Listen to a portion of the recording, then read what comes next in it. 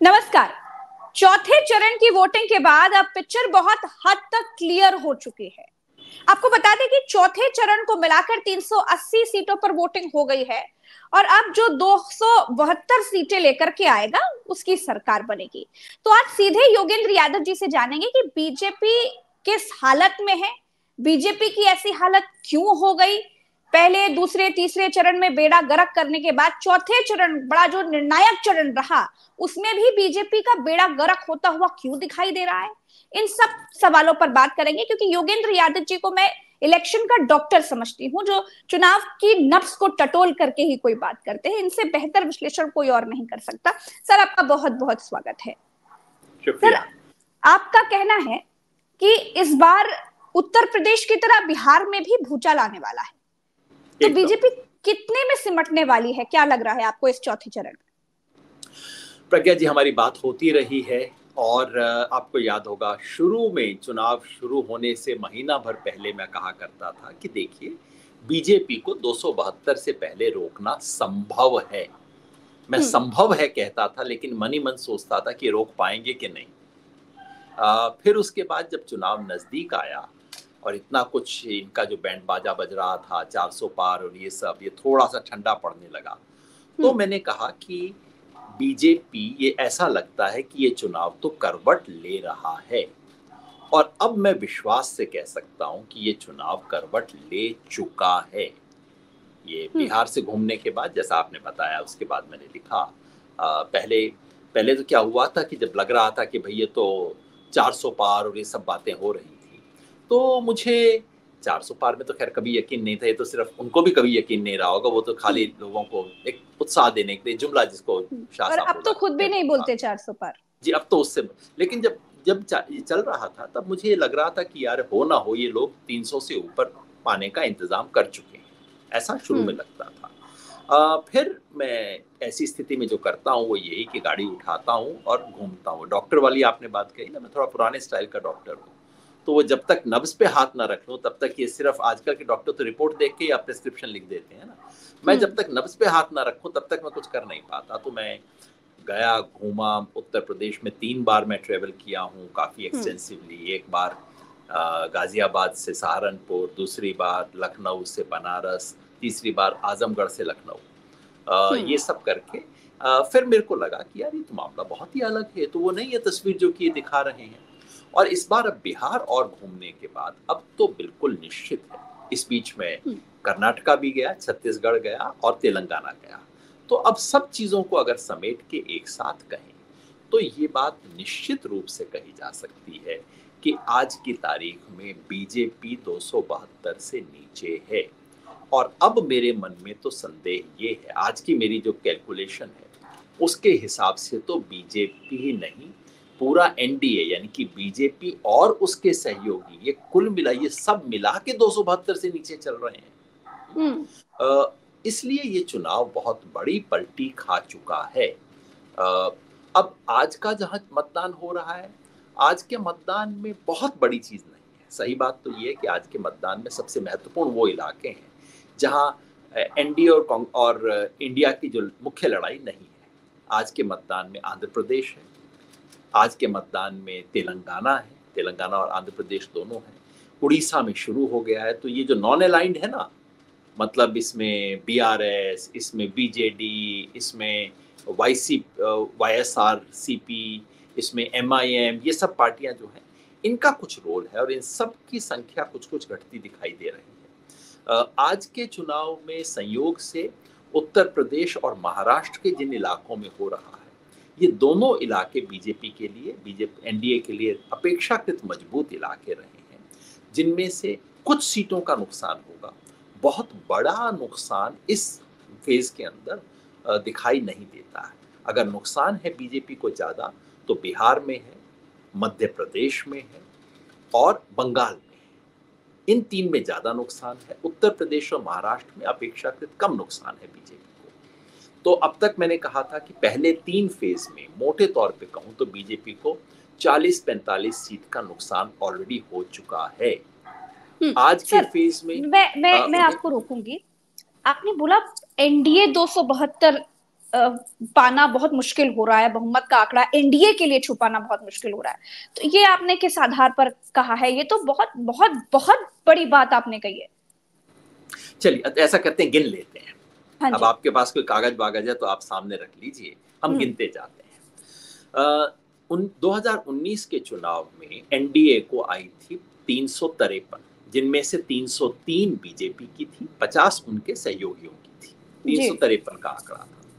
अब एक एक राज्य का देखते जाइए और उसे घटाते जाइए। कर्नाटका इनके पास है 28 में से 27 सीट। जी।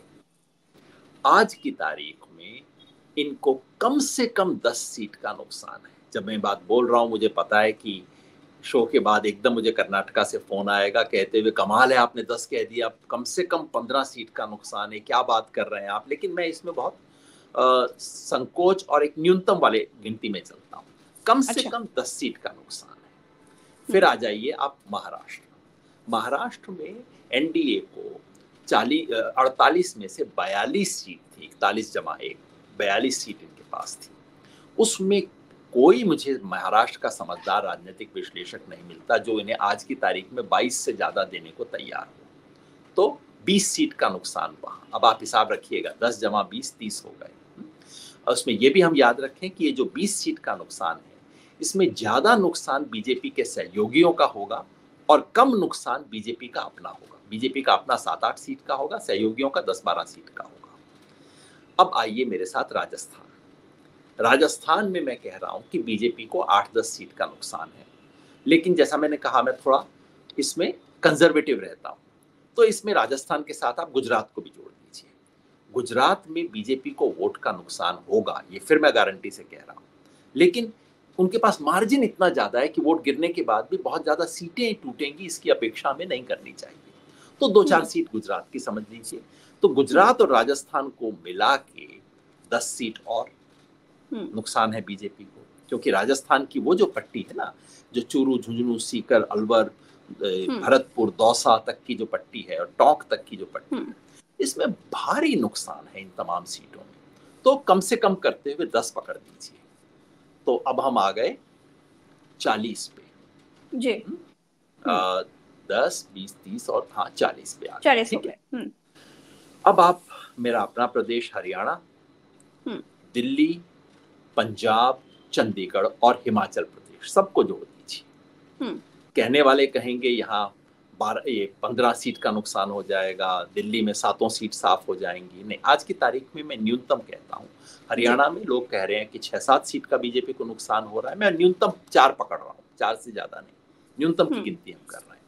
तो इन सब में हरियाणा में चार दिल्ली में आप दो तीन मान लीजिए ज़्यादा नहीं चंडीगढ़ हम्म। की सीट और पंजाब में एक आधी सीट का एक ही हम्म। बहुत ज़्यादा नुकसान हो नहीं सकता बीजेपी का वहाँ पे है तो दस इसमें मिला लिया हम्म। पहुँच गए पचास पचास ठीक है। अब आइए मध्य प्रदेश छत्तीसगढ़ मध्य प्रदेश में बहुत ज़्यादा नुकसान बीजेपी को नहीं है क्योंकि कांग्रेस उतने दम से ये चुनाव नहीं लड़ पाई है जितना उसे लड़ना चाहिए था तो मध्य प्रदेश में आप समझिए बीजेपी को नुकसान होगा एक सीमित किस्म का नुकसान होगा आ, और उसे हम बीजेपी के नुकसान को समझिए वहाँ पे मध्य प्रदेश में बीजेपी और उसके सहयोगियों को यदि हम जोड़ तो माफ़ कीजिए थोड़ा मैं डिस्ट्रैक्ट हो गया था हम्म, अभी हाँ। हम्म। अभी तक हम पचास सीटों तक आए हैं पचास हम्म। तो मध्य प्रदेश की बात मैं दोबारा करता हूँ मध्य प्रदेश में बीजेपी को फिर वोट का नुकसान हो सकता है लेकिन वहाँ विपक्ष उतना ज़बरदस्त चुनाव नहीं लड़ पाया है कई चीज़ों में लड़ा है। तो वहाँ नुकसान सीमित हो सकता है। मैं समझता हूँ कि पाँच सात सीट का नुकसान होगा मध्य प्रदेश में बीजेपी के पास उनतीस में से अट्ठाईस है। पाँच सात सीट का नुकसान मध्य प्रदेश में दो एक सीट का नुकसान छत्तीसगढ़ में लेकिन आपको कमी अगर रह गई तो इसमें चलिए झारखंड भी जोड़ देते जहाँ हेमंत हम्म। सोरेन की गिरफ्तारी की वजह से एक गुस्सा है वहाँ पब्लिक के बीच में। तो तीनों में मिला के मैं दस का नुकसान मानता हूँ। जैसे मैंने कहा अच्छा, कंजर्वेटिव रख कम से कम हम्म। कम से कम। हम्म, तो ये हो गया। साठ पहुँच गए। अब आप आइए उत्तर प्रदेश और। उसके साथ जोड़ दीजिए उत्तराखंड को। इसमें पिछली बार बीजेपी के पास उनहत्तर है चौसठ और पाँच उनहत्तर एनडीए के पास है। जी जी आज की तारीख में मैं जानता हूँ कि जो कई पत्रकार हैं अलग अलग मान्यता है कोई कहते हैं तीस भी नहीं आएगा कोई कहते हैं नहीं पंद्रह से ज़्यादा सीट उनकी नहीं जा सकती हम्म। मेरा अपना अनुमान है कि बीजेपी को यहाँ कम से कम पंद्रह सीट का नुकसान होगा यानी कि आज जो चौसठ पे है यहाँ पे और इसमें हम्म। उत्तराखंड की भी एक आधी सीट जोड़ दीजिए क्योंकि देहरादून अच्छा, में एक हम्म। संभावना हो सकती है यहाँ मिला के पंद्रह सीट का नुकसान मैं बोल रहा हूँ इस पे सबको विश्वास नहीं होगा। लेकिन मैं भी अपना गणित करता हूँ देखता हूँ इन चीज़ों में। पंद्रह सीट का नुकसान उत्तर प्रदेश में। और अब रह गया अब ये आ गए पिचहत्तर। अब हम्म। इसमें जोड़ लीजिए आप बिहार जहाँ मैं घूम के आया हूँ जिसके बारे में मैंने आज ही ट्वीट वगैरह भी किया है। आ, हम्म। कल बताया था इसके बारे में मैंने। बिहार में कम से कम एनडीए के एक तिहाई एक तिहाई वोटर ने हमें कहा कि हम पिछली बार एनडीए को दिया था इस बार नहीं देंगे मैं कहता हूँ एक हम्म। तिहाई नहीं आप एक एक बटा पाँच मान लीजिए जिन पाँच लोगों ने पिछली बार एनडीए को वोट दिया था उनमें से एक खिसक रहा है जबकि हम्म। राजद और सब और कांग्रेस का कोई वोटर नहीं खिसक रहा है महागठबंधन का कोई वोटर खिसक नहीं रहा है केवल इनका वोटर खिसक रहा है हम्म। तो अगर आप ये मानते हैं तो मैंने हिसाब लगा के बताया था कि अगर इनका पांचवा वोट खिसक जाता है तो इनकी 22 सीट आएँगी और महागठबंधन की 18 और अगर एक तिहाई सचमुच खिसक गया तब तो पाँच सीट नहीं आएँगी इनकी एनडीए हम्म। की। लेकिन फिर जैसे मैंने कहा न्यूनतम। बाईस के हिसाब से भी सत्रह का नुकसान हो जाएगा हम्म। लेकिन मैं उसे पंद्रह मान के चलता हूँ। पंद्रह और जोड़ दीजिए। हो गए नब्बे। हम्म।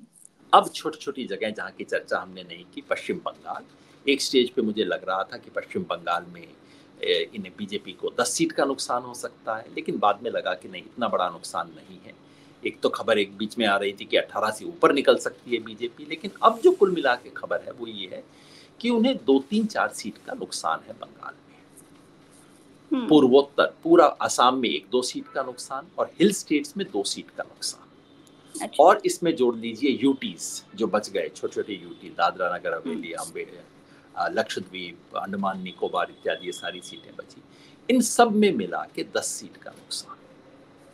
यूटी नॉर्थ ईस्ट और बंगाल तीनों को मिला हम्म। दें दस सीट का नुकसान। सौ पूरे हो गए ना?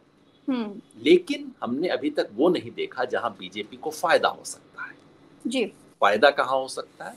उड़ीसा में दो सीट तक का फ़ायदा बीजेपी को हो सकता है। कुछ कहते हैं नहीं होगा कम होगा अलग अलग तरह की रिपोर्ट है मेरी आँखों देखी नहीं है तो मैं मान सकता हूँ कि चलिए दो सीट का उन्हें नफा हो सकता है हम्म। तेलंगाना में दो सीट तक का फ़ायदा बीजेपी को हो सकता है चार है छह तक पहुँच सकती है मेरे साथी नहीं मानेंगे लेकिन मैं कहता हूँ कि आप समझ लीजिए इतना संभव है हम्म। और इधर केरला और तमिलनाडु में एक सीट नहीं आ रहा उनको लेकिन आप एक मान लीजिए हम्म। पाँच सीट का उन्हें फ़ायदा है यहाँ पे। आंध्रा में एक अलग कहानी आंध्रा में चूँकि टीडीपी अब उनकी पार्टनर बन गई है और टीडीपी को सीट आएगा तो आप अच्छा। कम से कम दस सीट टीडीपी को दीजिए वहाँ पच्चीस में से हम्म। तो ये पंद्रह सीट का इन्हें फ़ायदा हो सकता फ़ायदा है तो सौ में से पंद्रह घटा दीजिए अब आ गए पिचासी जी ठीक है तो कुल पिचासी सीट का नुकसान एनडीए को है हम्म। अब फटाफट गणित कर लीजिए आप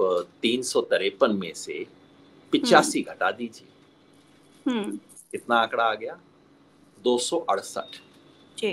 यानी कि मेजोरिटी मार्क से चार सीट कम। कम। कम। लेकिन फिर मैं कहूँ ये कोई एग्जिट पोल नहीं है। एग्जिट पोल भी इतना एक्यूरेसी से नहीं बता सकता। तो जो दो सौ अड़सठ है दो सौ अड़सठ का हम्म। दो बन सकता है उसका दो सौ अठावन बन सकता है। बहुत ब्रॉड सी चीज़ें। जैसे माथे पे हाथ रख के कहते हैं ना ना 102 बुखार लग रहा है। अब वो 101.5 भी हो सकता है 102 आपकी बात सुनकर भाजपा को पूरे एनडीए को बुखार चढ़ जाएगा मुझे लग रहा है। इस वक्त जिस तरीके से आपने राज्य दर राज्य एकदम क्लियर कर दी तस्वीर मैं बुखार चढ़ जाएगा। हम्म। उन्हें मेरे कहने की कोई आवश्यकता नहीं है। हम्म। मुझे पूरा विश्वास है कि मोदी जी और अमित शाह की टेबल पे ये आंकड़े पड़े हैं। वो हम आपसे देखिए उनके बारे में उनसे जो भी मेरा वैचारिक मतभेद हो ये लोग बेवकूफ़ नहीं। हम्म। ये लोग जानते हैं कि ज़मीन पे क्या हो रहा है। एग्जिट पोल दिन रात इनकी टेबल पे आ रहे हैं। मोदी जी को पता है और इसीलिए थोड़ा बुझे बुझे से रहते हैं क्योंकि उन्हें पता है कि क्या हो रहा है। उन्हें हम्म। आप और मैं जितना जानते हैं उससे कहीं ज़्यादा मोदी जी जानते हैं। हाँ एक औसत भाजपा का कार्यकर्ता नहीं जानता।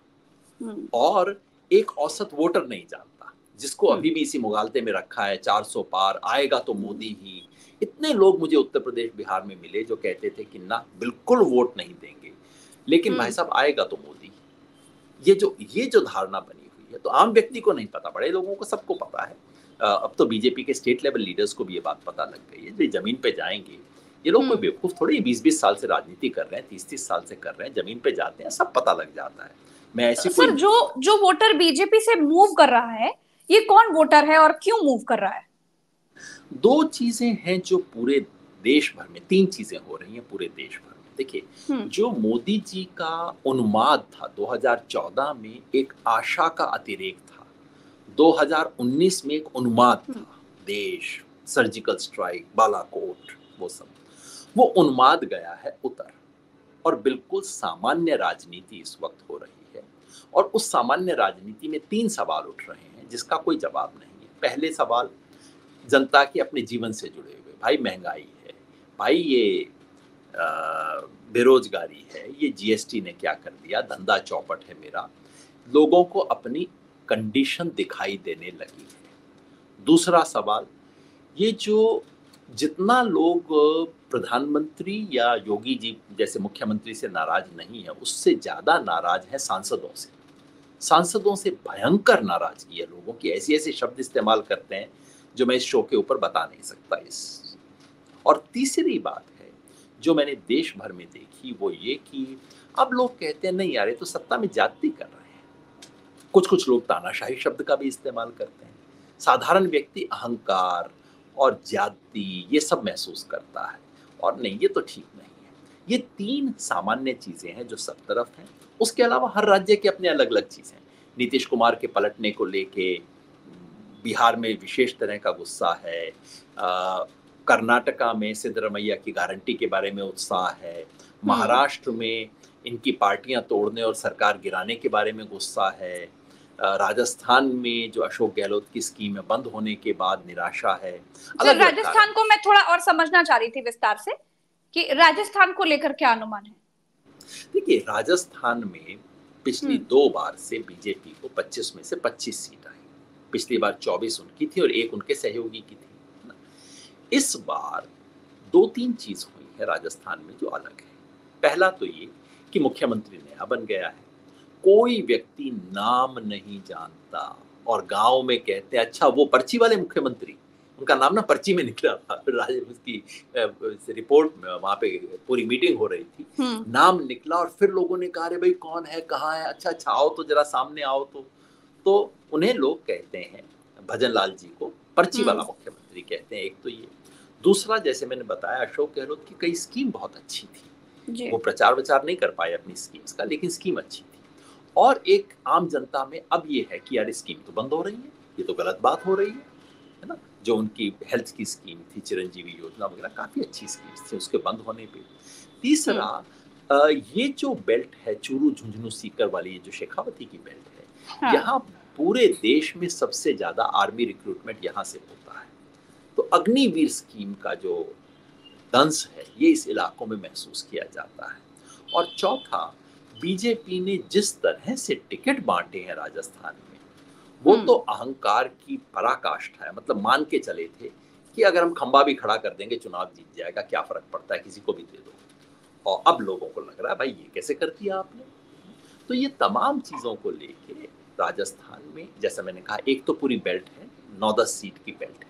शुरू हम्म। होती है गंगानगर से गंगानगर चूरू झुंझुनू सीकर फिर इधर राजस्थान ये जयपुर ग्रामीण उधर अलवर दौसा फिर इधर टोंक सवाई माधोपुर ये पूरी एक बेल्ट हम्म। है उसके अलावा तीन अलग इलाके हैं नागौर जहाँ से बेनीवाल जी लड़ रहे हैं कांग्रेस ने उनके साथ समझौता किया दूसरा है बांसवाड़ा जहाँ से भारत आदिवासी पार्टी लड़ रही है और हम्म। तीसरा बाड़मेर जहाँ एक त्रिकोणीय संघर्ष जी इन तमाम चीज़ों को लेते हुए राजस्थान में इस हम्म। वक्त समझदार लोग तो बता रहे हैं कि 10-12 सीट कांग्रेस की आएगी यहाँ पे हम्म। तो पहले जो हुआ करता था कि हर बार कांग्रेस विधानसभा में जैसी भी परफॉर्म करे लोकसभा आते हम्म। आते अचानक बीजेपी का वोट बढ़ जाता था और कांग्रेस का गिर जाता था वैसा कतई इस बार नहीं हुआ है और कांग्रेस ने दो समझदारी की एक तो कांग्रेस ने टिकट विधानसभा की तुलना में लोकसभा में बहुत अच्छे टिकट दिए हैं कांग्रेस ने। और दूसरी चीज़ जो हुई है वो ये कि कांग्रेस ने समझदारी से वो अलायंस किए हैं जो कि उसको विधानसभा में कर लेने चाहिए थे सीपीएम हम्म। के साथ कर लिया है आरएलपी के साथ कर लिया है और आखिरी मिनट में भारत आदिवासी पार्टी के साथ भी एक समझौता कर लिया है तो हम्म। ये सब करते हुए राजस्थान में कहने वाले तो 12 सीट के करीब 10-12 सीट बताते हैं लेकिन जैसे मैंने कहा मैंने तो उसको कंजर्वेटिव करके और फिर गुजरात भी हम्म। उसमें जोड़ लिया दो तीन सीट और हम्म। करके कहा कि कम से कम दस मान लीजिए दस हाँ सर उत्तर प्रदेश को अगर विस्तार से समझने की कोशिश करें तो आपने कहा कि उत्तर प्रदेश में भाजपा को कम नुकसान हो रहा है जी अपेक्षाकृत कम जो बिहार में जो मैंने देखा उससे कम क्योंकि उत्तर अच्छा। प्रदेश में उत्तर प्रदेश में दो चीज़ है जो कि भाजपा के पक्ष में जा रही है एक तो ये कि जो राशन की बात है वो तो पूरे देश भर में लोग कहते हैं मोदी सरकार को राशन का क्रेडिट पूरे देश भर में मिलता है चाहे हम्म। आप उसके क्रिटिक हो कुछ भी हो जो लोग मोदी को वोट नहीं भी दे रहे वो भी कहते हैं कि इन्होंने राशन दिया आ, हम्म। अब ये अधिका मैं समझता हूँ पिचानवे प्रतिशत लोगों को ये पता नहीं है कि राशन वाली स्कीम का नाम है नेशनल फ़ूड सिक्योरिटी एक्ट जो कि मनमोहन सिंह के ज़माने में बना था लागू हुआ था शुरुआत हो चुकी थी लोगों के मन में ये छवि है कि भाई मोदी जी लेके आए इस चीज़ को उनको क्रेडिट मिलता है। उत्तर प्रदेश में जो लॉ एंड ऑर्डर को लेके उत्तर प्रदेश की सरकार को क्रेडिट मिलता है। तो उत्तर प्रदेश में एक विशेष पॉजिटिव चीज़ बीजेपी के लिए काम करती हम्म। है।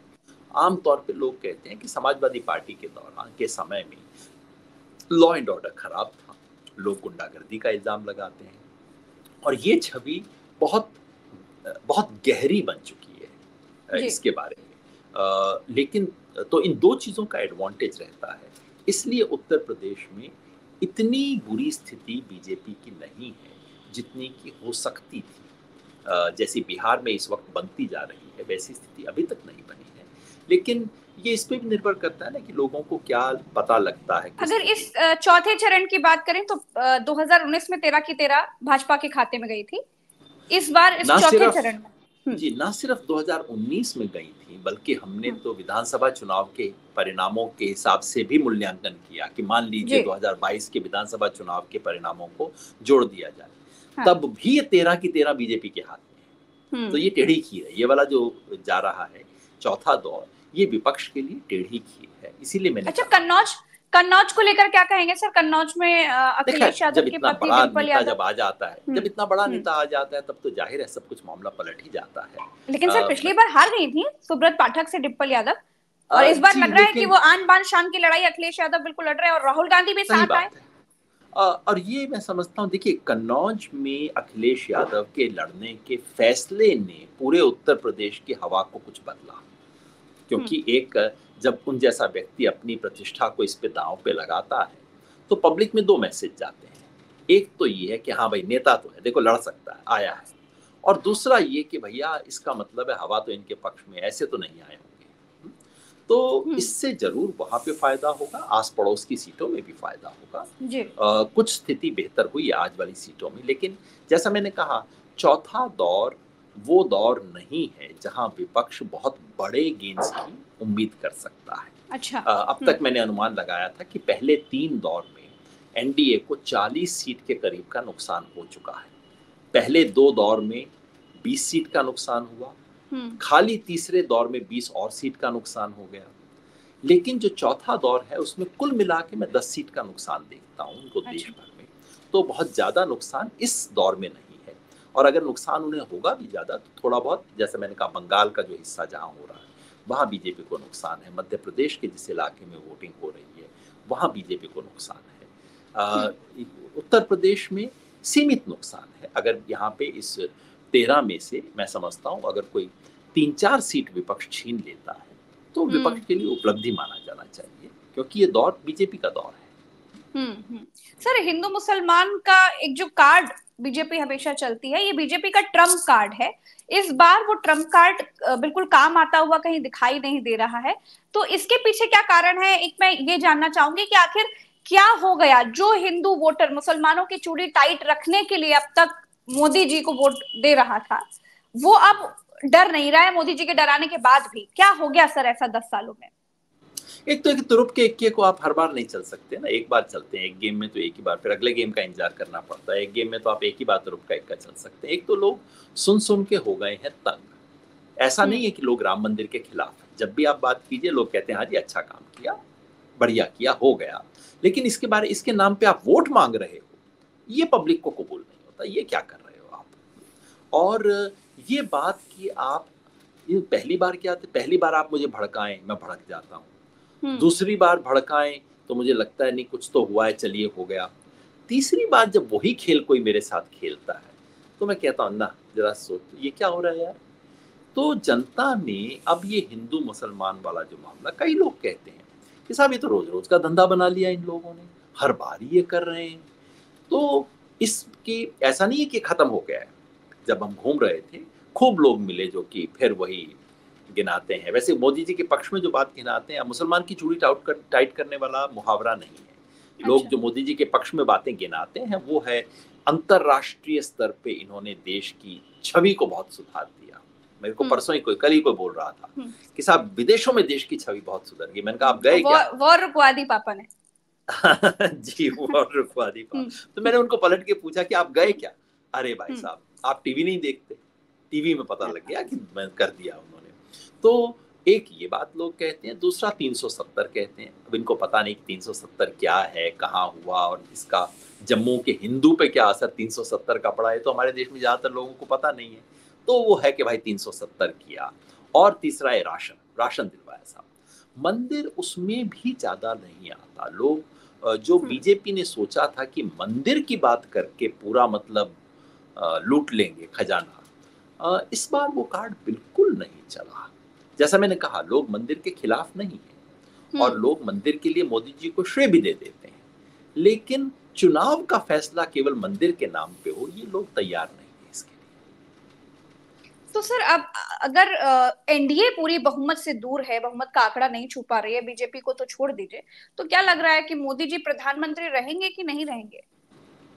कि झोला उठाकर जाना पड़ेगा? है। एक दो और फ़ेज़ निकल जाने दीजिए तब इस पे भी चर्चा करेंगे। अभी तो और क्योंकि बहुत कुछ खेल है इसमें। 250 से अगर नीचे मोदी जी पहुँचते हैं और हमने अभी जो हिसाब किया उसमें तो 233 के करीब का आंकड़ा आ रहा है। अगर मोदी जी 250 से नीचे जाते हैं तो क्या बीजेपी मोदी जी को कबूल करेगी? हम्म। तो बाद में प्रधानमंत्री बनना वगैरह तो बाद की बात है। जी देखिए मोदी जी ने मोदी और शाह ने बीजेपी के भीतर जो तानाशाही की है देश के अंदर तानाशाही तो बड़ी बात है। सबसे बड़े मोदी जी की तानाशाही के शिकार तो बेचारे बीजेपी वाले हैं। हम्म। पार्टी में बोल नहीं सकते। मतलब मिनिस्टर क्या ड्रेस पहन के जाएगा? मिनिस्टर को फ़ोन आता है गाड़ी में बैठे हुए अरे टी शर्ट पहन के जा रहे हो ड्रेस बदलो।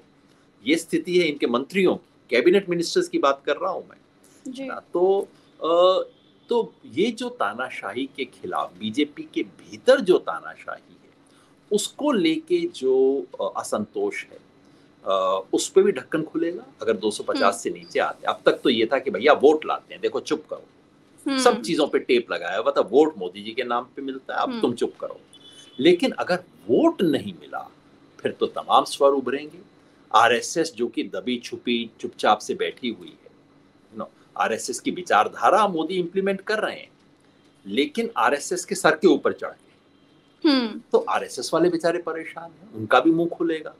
और मेरी उम्मीद है कि देश के टेलीविज़न का भी मुँह थोड़ा सा खुल जाएगा देश को केवल आप जैसे पत्रकारों पर निर्भर नहीं करना पड़ेगा बाकियों से भी उन्हें कुछ सच सुनने को मिल जाया करेगा। तो 250 के नीचे आते हैं तो मोदी जी की प्रधानमंत्री की दावेदारी एकदम बिखरने लगती है। और उसके बाद क्या होगा वो खुल जाता है। हाँ, राहुल गांधी एक बात बहुत कॉन्फिडेंटली कह रहे हैं। राहुल गांधी की बात मैंने इसलिए कही क्योंकि इसके पहले राहुल गांधी ने कोरोना का ज़िक्र किया वो भी बिल्कुल सही निकला नोटबंदी की बात कही जीएसटी की बात कही। तमाम राहुल गांधी के उठाए हुए मुद्दे काफ़ी सही साबित हुए। सबने देखा मोदी जी के दो गहरे दोस्तों की बात भी राहुल गांधी ने कही थी वो भी सही साबित हुई। अब राहुल गांधी एक बात कह रहे हैं कि आप लिख कर ले लो नरेंद्र मोदी प्रधानमंत्री नहीं बनने वाले। इस चीज़ को आप कैसे देखते हैं? अब उन्हें ज़्यादा पता होगा, मुझसे मत, दिल्ली के अंदर जो कुछ हो रहा है। देखिए, दिल्ली के गलियारे, राजनीतिक गलियारों में क्या क्या होता है क्या क्या षड्यंत्र होते हैं क्या क्या खेल होते हैं। ज़ाहिर है राहुल गांधी को मेरे से दस गुना ज़्यादा उसकी खबरें आती होंगी मेरे को कोई क्यों बताएगा अरविंद केजरीवाल ने अरविंद केजरीवाल ने भी ये बात कहकर कि प्रधानमंत्री मोदी को 400 सीटें चाहिए अमित शाह को प्रधानमंत्री बनाने के लिए मोदी प्रधानमंत्री बनने नहीं वाले हैं। ये बात ये नैरेटिव अगर आम आदमी के दिमाग में जाता है कि हम जो वोट डालने जा रहे हैं वो मोदी जी को नहीं जाएगा। तो भाजपा को वोट डालने का क्या मतलब जब मोदी जी प्रधानमंत्री नहीं बन रहे तो इसका बड़ा प्रभाव पड़ेगा। आप इसके प्रभाव को किस तरीके से देखते हैं? असर हो, होगा इसका लो, लोगों पर? जी और दूसरा उन्होंने वो भी बात कही है ना कि योगी को तो हटाएँगे। हाँ, योगी हाँ, का हाँ, पत्ता कटेगा हाँ, हाँ, सबसे पहले योगी को मुख्यमंत्री पद से सबसे पहले योगी का पत्ता कटेगा। और क्या हुआ अरविंद केजरीवाल ने ज़मीन पे हो रही उन बातों को पकड़ा है जो ज़मीन पे चल रही है। मैंने आपके पिछले शो में भी कहा था कि उत्तर प्रदेश में काफ़ी लोग कहते हैं कि देखिए जैसे रमन सिंह का पत्ता कटा शिवराज सिंह चौहान का पत्ता कटा वसुंधरा राजे सिंधिया का हाँ। पत्ता कटा वैसे योगी जी का पत्ता अगर मोदी आ गए तो योगी जी का पत्ता कटेगा। और अगर आप देखें खैर आप उत्तर प्रदेश में और मुझसे बेहतर जानती हैं उस तरह से योगी इसको जीवन मरण की लड़ाई समझ के ये चुनाव लड़ नहीं रहे ऐसी मेरी खबर है।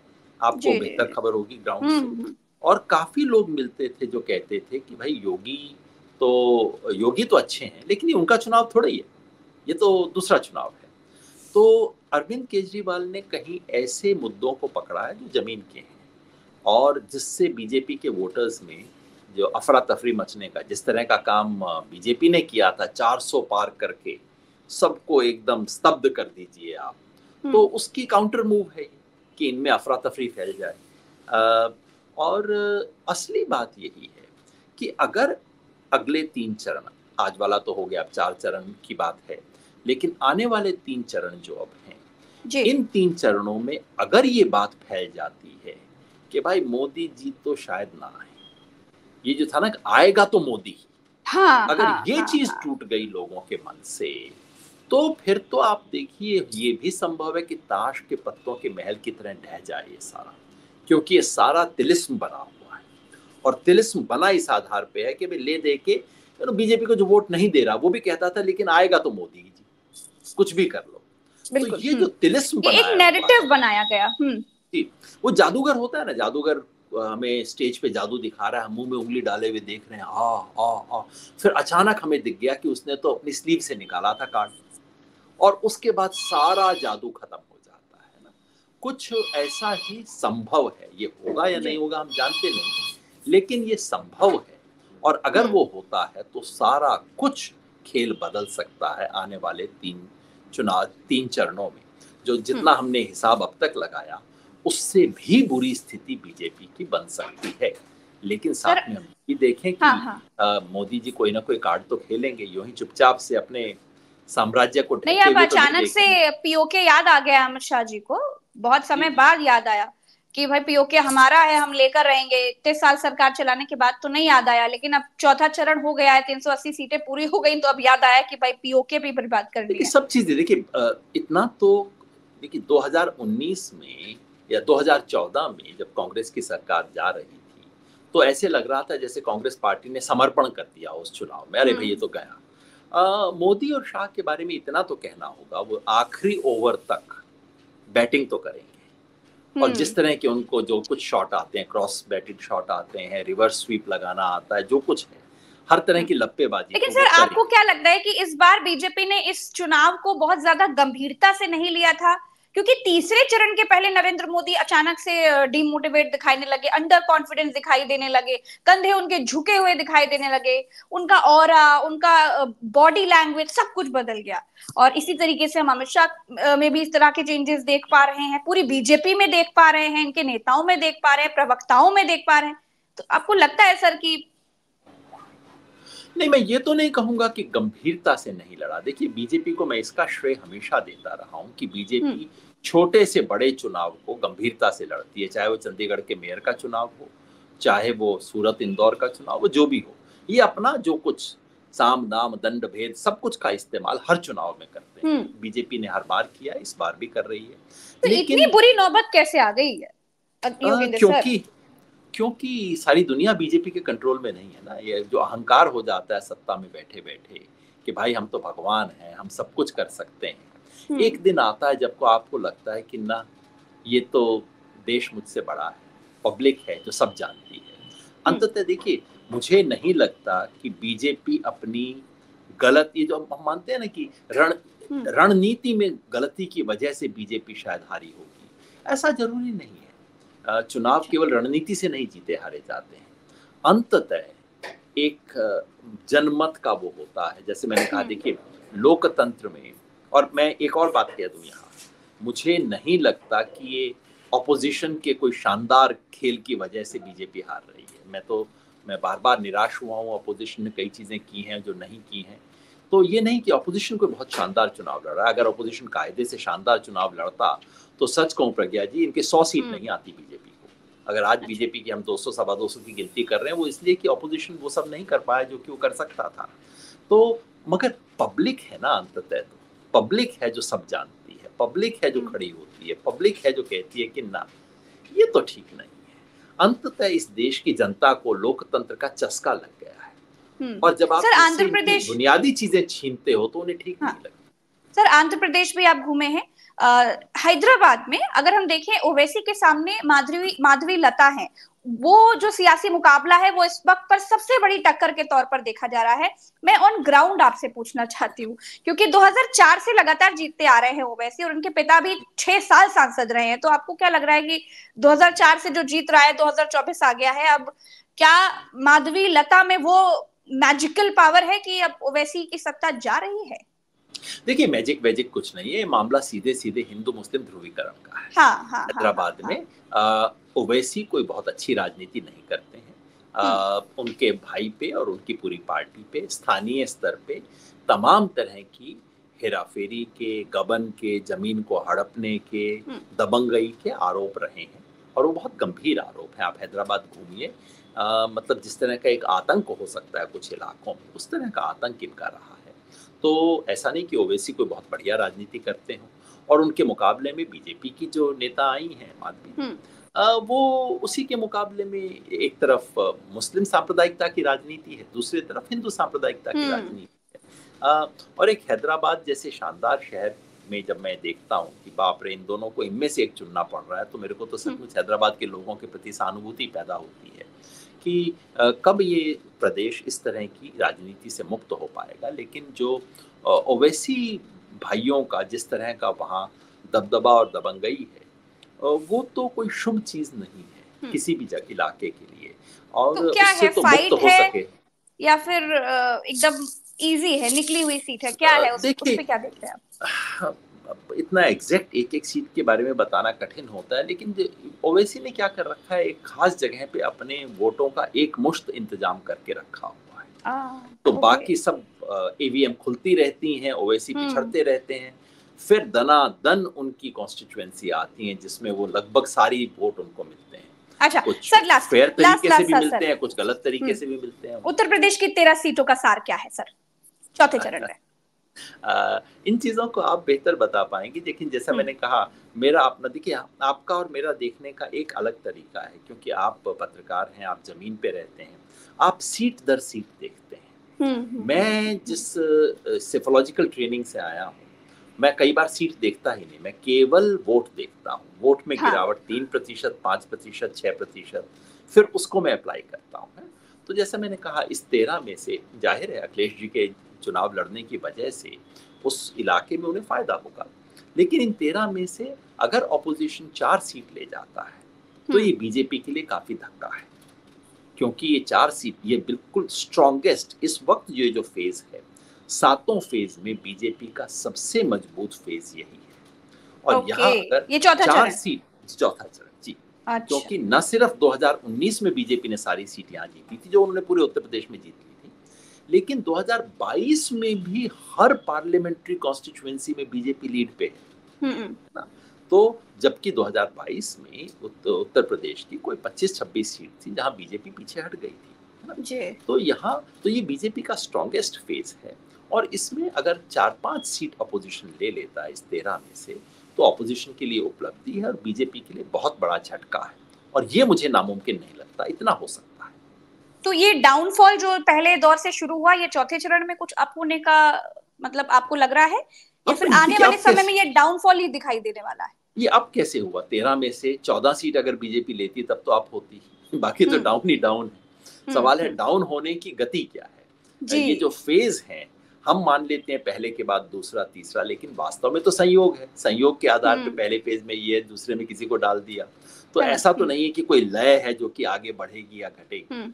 चौथा फ़ेज़ जब आएगा मतलब पांचवा छठा फ़ेज़ आएगा तो सपा के मज़बूत इलाके शुरू हो जाएँगे वहाँ हम्म। सपा की परफॉर्मेंस अच्छी होनी शुरू हो जाएगी तो इस संयोग को देखते हुए मोटे तौर पे मैं समझता हूँ कि जो उत्तर प्रदेश के पहले दो चरणों में नुकसान ऑलरेडी हो चुका है बीजेपी को और सिग्निफिकेंट नुकसान हुआ है बावजूद इसके कि जयंत चौधरी का इलाका शुरू में आया था उस सब के हाँ। बावजूद बीजेपी को नुकसान हुआ है वो नुकसान इस बार नुकसान की गति हो सकता है कम रहे इस फ़ेज़ में। लेकिन अगले फ़ेज़ से फिर वो गति पकड़ लेगी। मेरे विचार से आखिरी तीन जो चौथे चरण ये इस चौथे चरण में गति कुछ कम होगी और पांचवे से फिर गति पकड़ लेगी ऐसा ऐसा मुझे मेरा अनुमान है। जी बहुत ब्रॉड बाकी ज़मीन पे आप लोग मुझसे कहीं बेहतर देख पा रहे हैं। और मैं समझता हूँ जमीनी पत्रकार इन चीज़ों को कहीं बेहतर पकड़ता है। बजाय कि मेरे जैसा व्यक्ति जो कि एक ओवरऑल बिग पिक्चर देखने की कोशिश कर रहा है। लेकिन सर, आपका एनालिसिस बहुत महत्वपूर्ण है और आप हमें समय देते हैं इसके लिए बहुत बहुत शुक्रिया और तमाम दर्शकों का भी बहुत बहुत शुक्रिया। आभार सर। धन्यवाद।